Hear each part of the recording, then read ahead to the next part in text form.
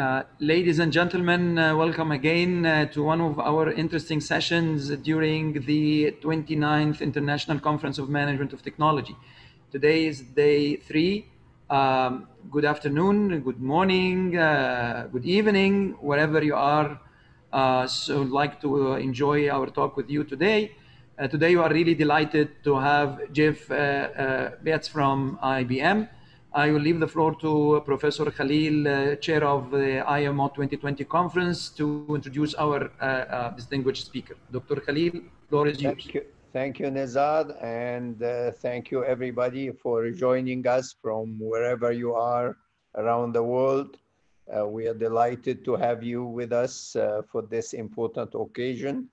And this afternoon, we have a very interesting keynote uh, presentation by Jeff Bates uh, of IBM. Jeff actually is the global industry CTO uh, for industrial market sales for data, AI, um, machine learning, deep learning, and data science. Uh, and uh, 26 years uh, for software solutions uh, in consulting for industrial, manufacturing, uh, and all areas uh, of marketing. Uh, Jeff actually started leveraging analytics uh, with his customers in 1997. So you can see it's very pertinent to uh, the topics that we are discussing in this conference. He was an account executive uh, for Cognos Consulting Service Partners. And uh, he uh, worked uh, with Cognos for the benefit of his customer base. Also, he deployed and integrated analytics with customers, leveraging the JDE ERP platform.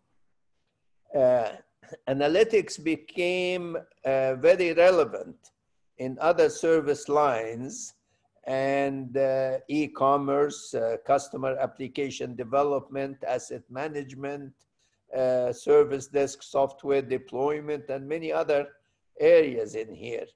Uh, and Jeff has worked extensively with several uh, of the partners, uh, including partnership with Microsoft Corporation in February uh, 2012, actually, Jeff joined Dell Software Group uh, as a software global account manager, responsible for sales and marketing of the entire uh, Dell software portfolio.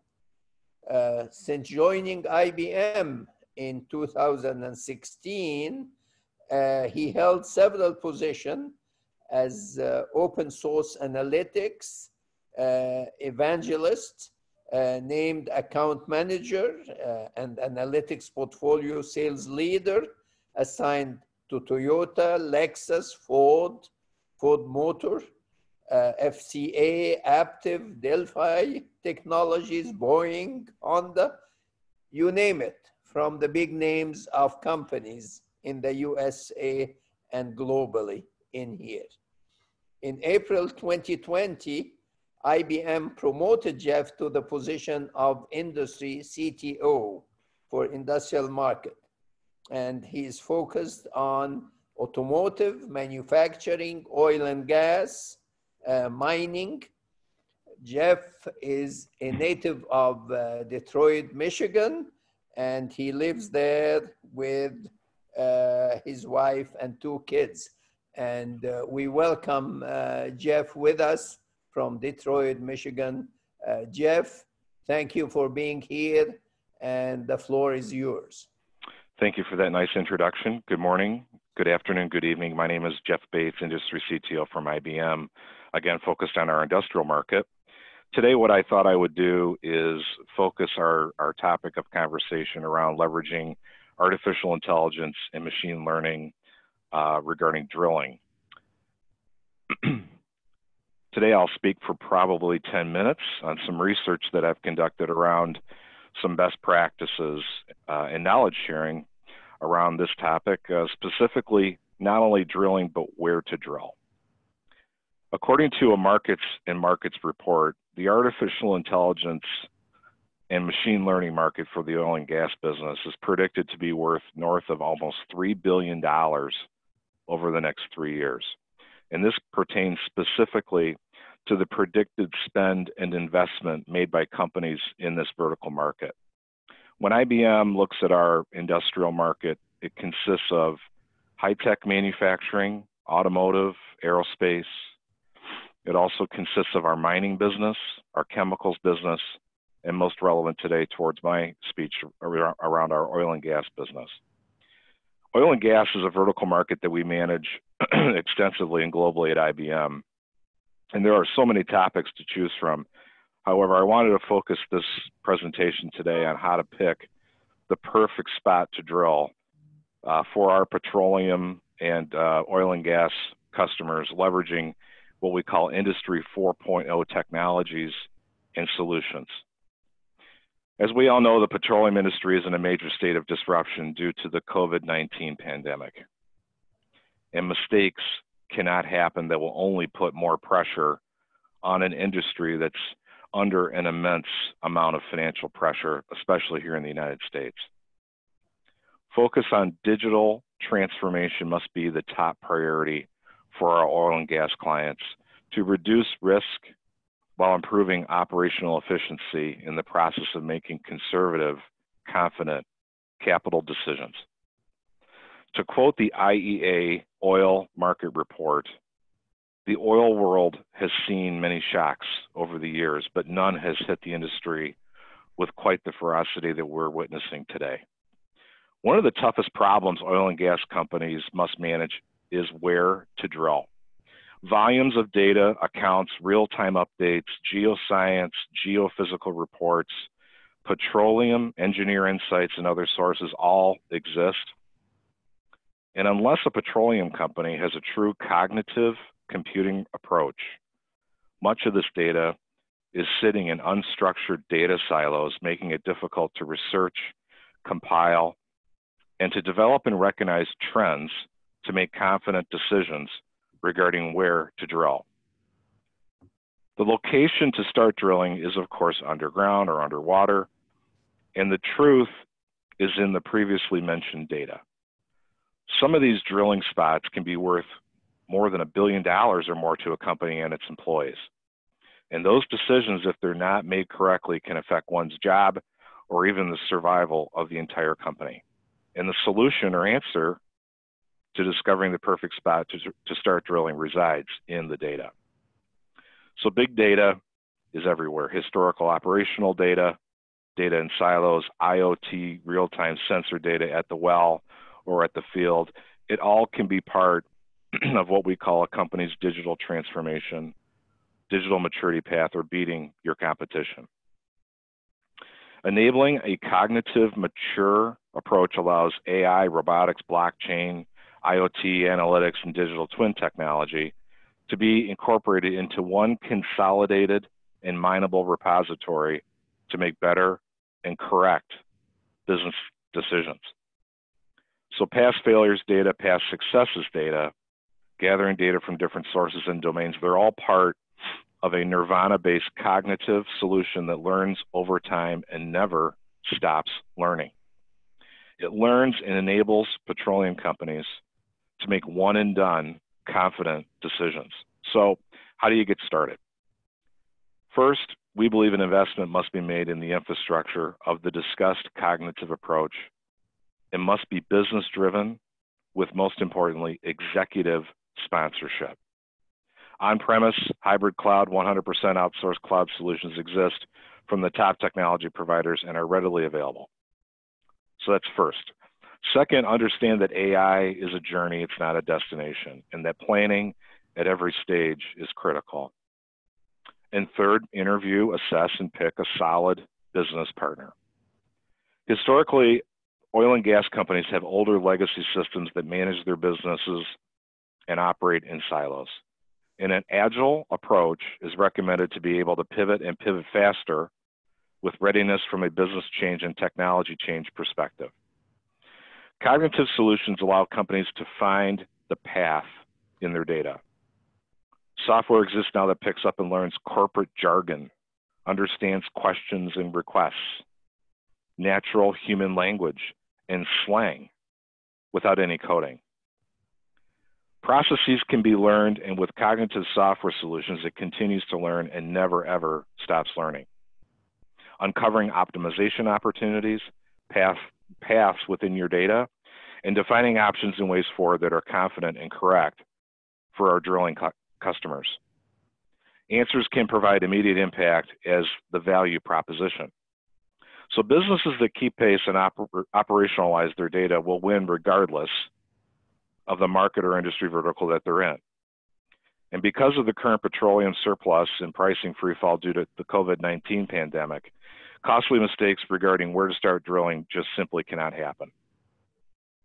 Petroleum executives must implement and adopt digital and cognitive transformation solutions to protect the business that employs them and allows the company to maintain its relevance and stature in this industry. Extracting oil and the related insights is where the cognitive and machine learning tools come into play. Driving business efficiencies, business performance, and positive financial results aiding your employees, stockholders, and consumers. Machine learning allows computers to learn and interpret the data without having humans involved to interpret that same data. Human operators make mistakes. And with machine learning and AI software solutions allowing petroleum companies to respond faster to concerns not detected by humans in the same process. New connections and insights are quickly returned to the business leveraging these technologies. To quote Per Harald Kongelf, Aker BP Improvement Senior Vice President, the oil and gas industry is facing a rapidly changing digital landscape that requires cutting edge technologies to cultivate growth and success. Regarding the future of AI, IBM Senior Manager Brian Goucher recently said, cognitive environments and technologies can bring decision makers together, help them seamlessly share insights, bring in heterogeneous data sets more fluidly, and enable target analysis and simulation.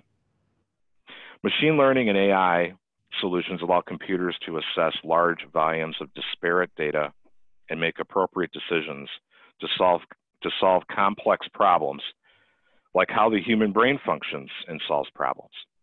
AI and ML programs are designed to never tire, continuously evolve, and get better and improve as new information and data is ingested. As a result, AI and ML solutions allow for more effective forecasting, again, without any coding or dependence on IT or data scientist resources that are usually busy and overburdened on other critical projects. One solution from my employer, IBM, allows for all this to happen for the oil and gas industry.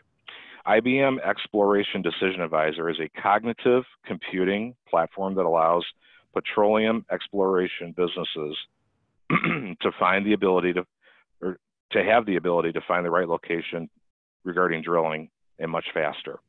This cognitive solution from IBM leveraging machine learning gathers data from different sources and disciplines and analyzes and ranks the data, allowing for the best drill decision to be made.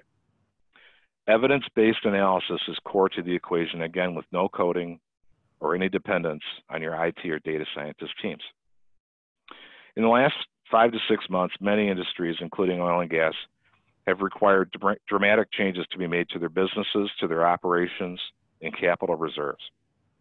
Leveraging available cognitive software solutions to prevent error is a must in today's surplus situation and to respond to a bullwhip supply chain scenario when a vaccine is found and applied to the public. AI can help petroleum exploration and production focused companies overcome historical constraints and to increase profits concerning drilling. It has been my pleasure to provide the IAMOT with this presentation today, and I wanted to extend my thanks once again for having me and for allowing IBM to present this, this concept in this presentation. Thank you. Thank you, Jeff. Uh, appreciate it very much. Uh, I'm sure we have a number, a large number of questions for you because your background and areas of work are quite interesting to us and to the topics that uh, we are discussing uh, during this conference. So uh, I'm going to ask you a couple of questions and we'll allow other people uh, to ask questions from the audience if uh, you don't mind. Nizar, maybe you can collect questions or, or you can uh, uh, start uh, allowing people to ask questions. I have a couple of quick questions, Jeff, because of your background. the, the first thing is you have worked very much in, uh, in leveraging uh, a number of uh, analytics and other uh, uh, techniques and technologies in industry. Uh, could you tell us how, how can some of the companies that are not leveraging analytics can take advantage of this? Yes, so as far as analytics is concerned, it's um, probably one of the biggest areas that we're seeing as far as corporate budgets are concerned. Without analytics, it's extremely difficult to pull or derive insights as far as your, your business, business continuity, how your partners work with, with your companies and so forth. What we're finding is companies, especially larger companies, either have one or two approaches. They have an open source or lack of standards approach, or we're finding that some of our clients are adapting more of a standardization approach. So imagine a, a, painter having a palette that has seven or eight different colors. That's where I would consider to be, you know, a situation where there aren't, uh, you know, standards in, in place in terms of analytics. And then some of our clients are, are finding out that this is just not working because there's just too many choices from a software perspective on how to, how to run the business. So my suggestion is always a standards approach um, but also one that would allow for the acceptance of a number of open source technologies that universities like Nile are teaching their students when they come out of college. Which brings the issue because some people might not be quite aware of, uh, of the uh, techniques in here. When you're talking about open source and leveraging it, particularly, for example, in the automotive industry, I, and you have done it for the big ones like Toyota and Ford and uh, and Boeing and Honda and so on. I mean, uh, how the, how does that actually how how could a, a, company that is has not been into this uh, do it? Yeah, again, I think like we talked about earlier regarding where to drill from a petroleum perspective, I think it comes down to executive sponsorship making sure the company truly has what we would call a chief data officer or a VP of data or analytics, making sure that those resources are in place, making sure boards of directors of these companies understand the priorities and the budgets that are required. Um, it's not just people, it's infrastructure, it's software, it's resources, it's business partners, it's companies like IBM and so forth. So I, I think if you don't have an analytics strategy, I don't know how you're going to win that's exactly what we're talking about. And this is exactly why we're bringing in here.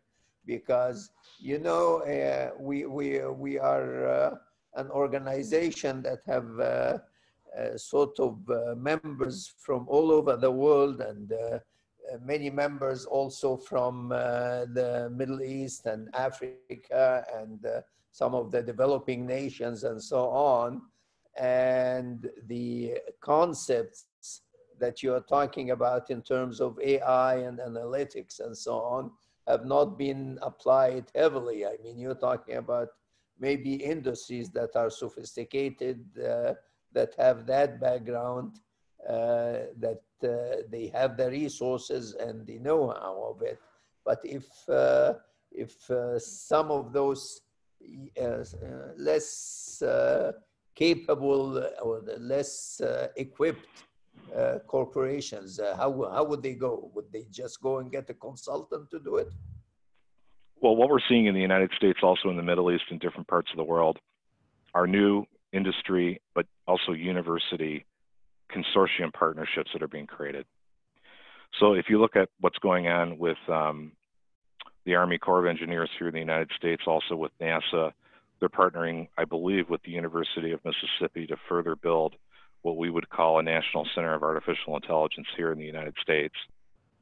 We're also being asked to assist with respect to the development of the Saudi National Center of Artificial Intelligence in partnership with um, with uh, King Fahd University. So there's a number, or excuse me, King Saud University. So there's a number of university partnerships that we're seeing that are maturing very nicely, but also an opportunity for those university partnerships with IBM to bring in companies, to bring in commercial organizations that are looking to learn more about how to partner effectively. So it's a triangle. It's it's it's the university, it's companies like IBM, and then it's the corporations that all work together to build out these AI center of excellences. Excellent. Uh, okay, I'm going. Nizar, are you there? Uh, okay, let's see if we can get uh, questions from the um, um, uh, please, uh, uh, if you have any question, we can use the function of raising hand. Uh, we have Dr. Anton Bota. Floor is yours. Please go ahead with the question. Thank you, Nazar. Jeff, thank you for a very interesting presentation. Um, I was thinking about, you know, you talk about data, data being in silos, uh, data being available through analytics and AI to solve some of these problems. I remember speaking to uh, Dave Snowden many years ago when you were still at, at IBM, and we were talking about the, the wisdom aspect, the experience aspect of solving problems. Uh, he said they were put down on a rig in the uh, in the North Sea. Uh, by an helicopter. It was a very stormy sea. There was a problem with the rig and nobody knew what it was. So this guy was flown out and Jeff, uh, sorry, and, uh, and Dave went with him to, to try and learn about their methodologies. And as their feet touched the platform, this guy told Dave, I know what the problem is. And Dave said to him, but you haven't even looked at uh, you haven't spoken to anybody, you haven't looked at the data. He says, no, I feel it in the rig. So that feel it in the rig, you know, that, that human wisdom experience, how do we bring that and data together to get most benefit out of this? Sure. Yeah, we're seeing a lot of this um, regarding some of our customers like Qatar Gas and Qatar Petroleum, for example, out in the Middle East, where we're dealing with use cases around um, things like stuck pipe, we're, we're dealing with other use cases specifically in the automotive industry that allow for predictive maintenance or what we would call visual inspection.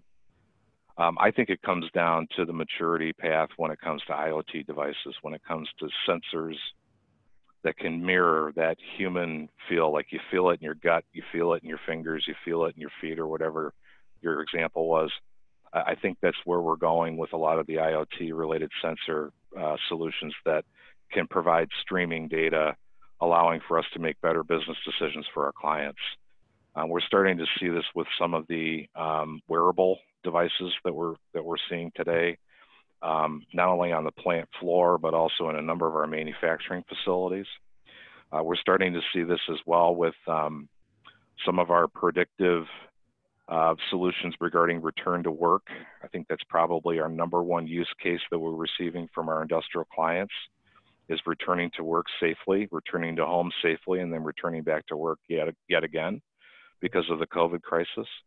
So I think the answer to the question does reside, reside in the data, but it's the, the human process that's mirrored, you know, leveraging IoT related sensor data.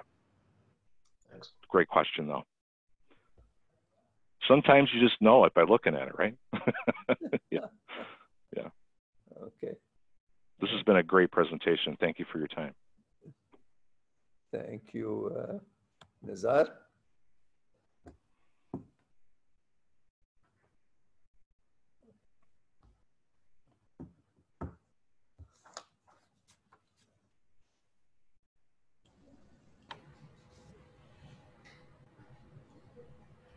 Okay, do we have some uh, other questions from the uh, audience or the panel? Um, Yes.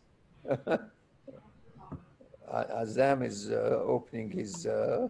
Uh, actually, um, if you allow, hi Jeff, hi from Cairo. Um, I think the application of artificial intelligence in oil and gas sector is unlimited, as it is in in other uh, uh, application in all vertical industries all over the world. However, um, how do you uh, do you think that is it possible to to transfer the know-how in such high-tech domain to developing countries through uh, either the multinationals like um, uh, IBM or the companies working in the field of oil gas like uh, ExxonMobil or Shell or whoever, or it will be only within the walls of the big companies and this is couldn't be transferred under any circumstances under any label to uh, to other uh, developing countries uh, in in this regards how do you how do you see uh, such thing, Jeff? So that's a very good question, and we've we've witnessed it and we've seen this problem. Um, I'm a big fan of teaching to fish. So when when it comes to knowledge transfer and making sure when we're consulting with companies, we don't want a dependency model. So we're always very big on making sure that what we've done with a client, we explain to the client what we've completed and that they're self-sufficient and independent. Um, I do believe, again, going back to some of the university partnerships that we've developed, that the university partnership in region for for customers in your region has got to be priority number one in partnership with IBM. So we've developed about eight or nine different university partnerships here in the United States that are focused on manufacturing and industrial market. We've grown that to the University of Birmingham overseas in the UK and also most recently with King Saud in Saudi. So we're interested in expanding this because I do believe that although we've seen resources that have been working with us from our clients that have attended American universities, they always go back home. So we need to, I think, develop university partnerships like with NILE more effectively and have the ability to teach IBM technologies or other different te technologies in universities so when students are coming out of these programs, they can they can go to work day one and, and know exactly what they're doing. Um, we have a university AI related partnership where we provide universities with free curriculum, free software, and free mentoring. So if that's something that Nile University would like to leverage, we can definitely get you in front of the right people to have those discussions. But I do believe that although sometimes we see um, very talented PhD related resources around the world attending universities in the United States. They always go back to where their families are, where their companies are. Uh, thank you, Jeff. Uh, especially Egypt is uh, is becoming an emerging uh, uh, global player in uh, in the area of oil and gas after the great discoveries that we had in East Mediterranean and in the Western Desert in Egypt. So this is it would be a great initiative for IBM to establish ties with uh, University, having this uh, very specific uh, domain uh, within the walls of Nile University. I think this would be a, a great initiative that we can work on together as an outcome of this um, webinar to then we can establish a path for the knowledge transfer on the ground.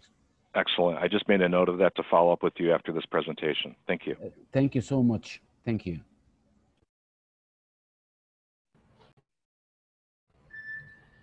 Uh, Jeff, we have a, a question from Rendani. Uh, would you please uh, be able to come in and to, uh, I will get you the microphone on. Okay, uh, Ren, you can uh, open up your microphone and address your question, please. Uh.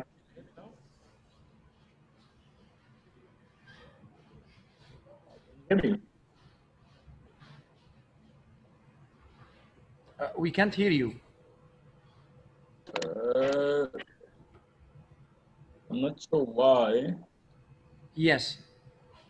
That's clear right now. Yeah, please go ahead. Okay.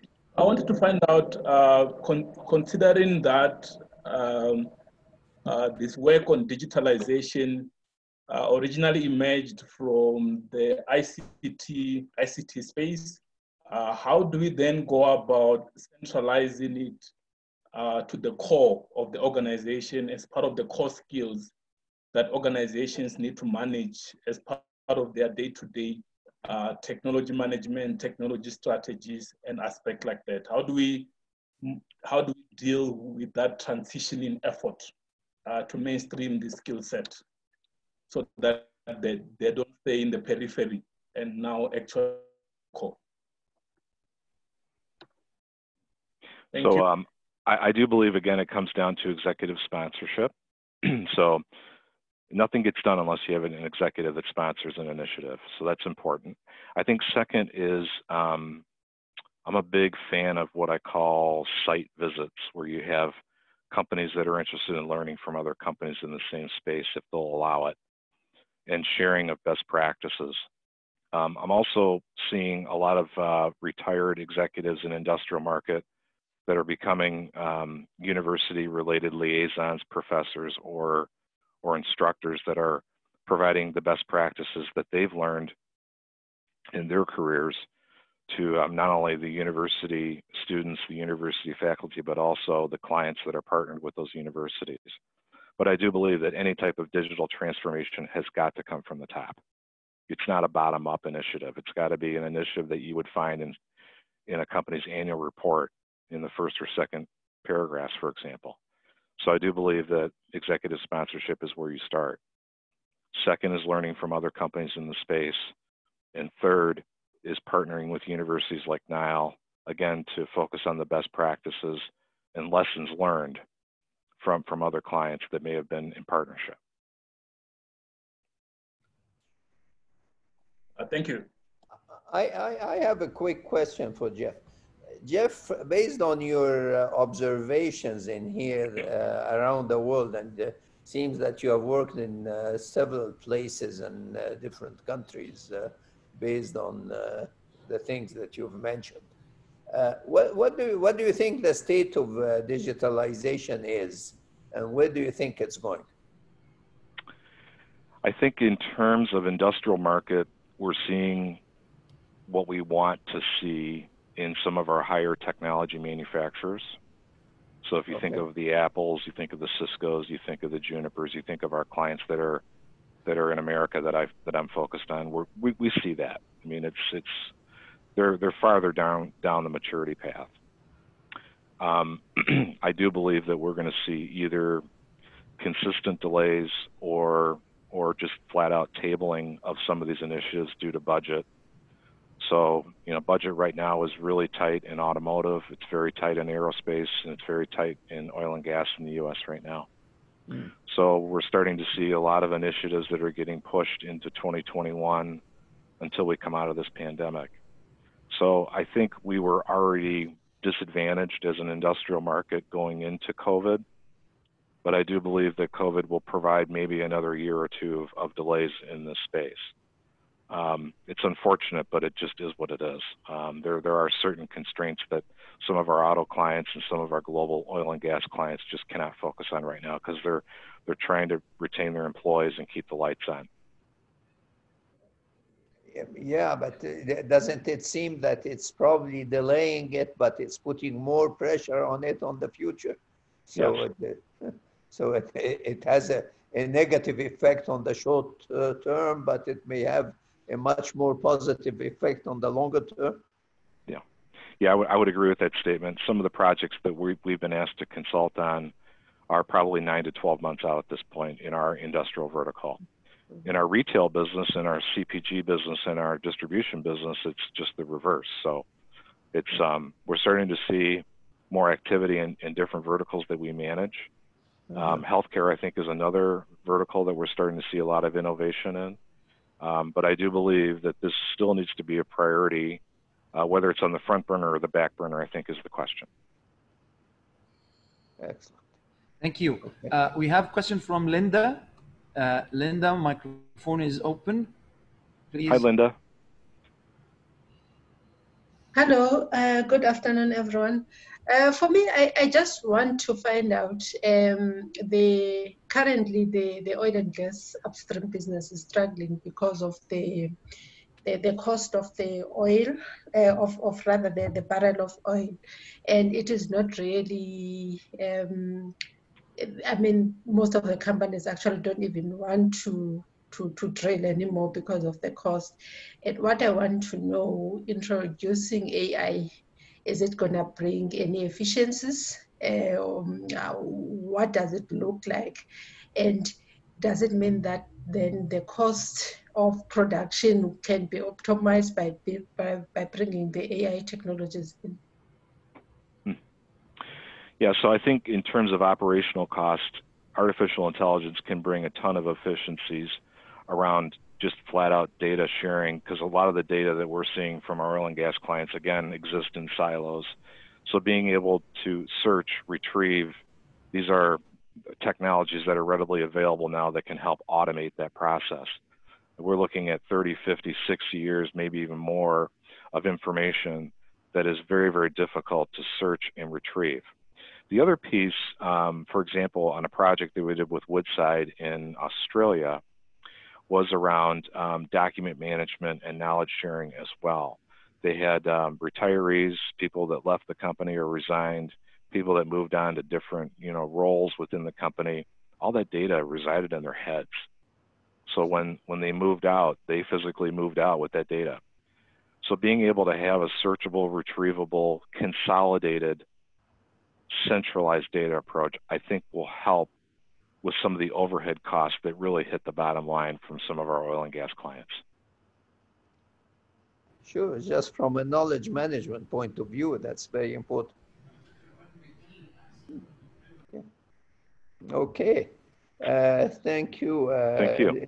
If we don't have any other questions, uh, then uh, we would like to uh, thank uh, Jeff for wonderful uh, presentation and some insights into this whole issue.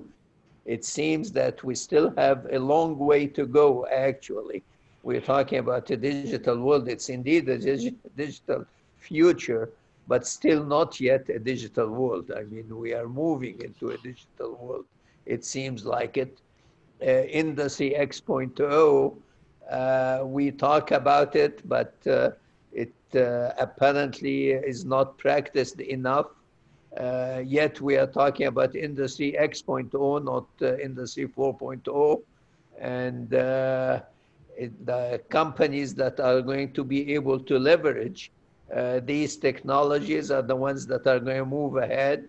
The ones that are not leveraging uh, these uh, technologies and advantages are just going to linger behind. And uh, it seems to me the gap will continue to increase. And uh, that's worrisome to a great extent for me.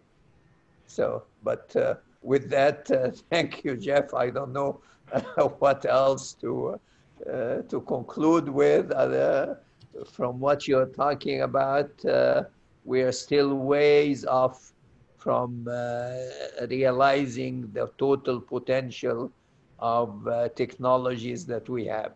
And it seems that we still have a long way for people to understand the technologies, understand their uh, usages and their uh, leveraging them.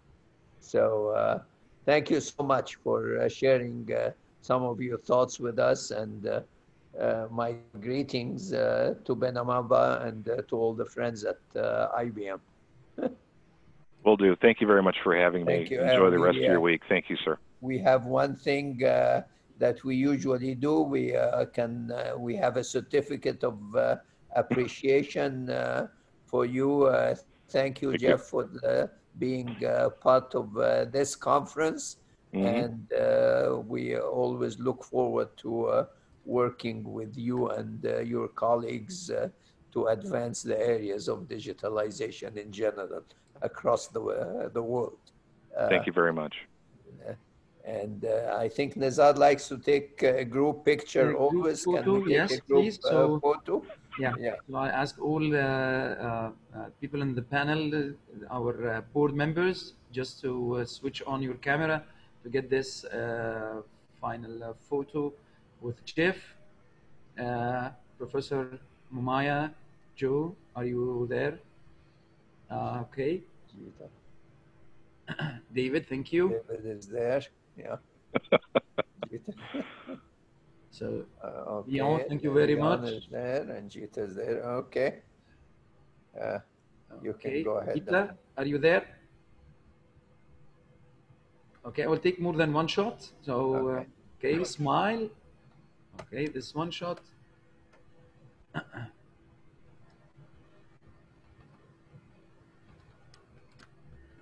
Let's get another one. Okay.